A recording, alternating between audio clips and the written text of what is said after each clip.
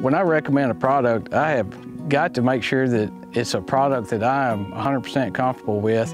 Transform does have a fast-acting knockdown property, and that's, that's really important when we're trying to treat plant bugs.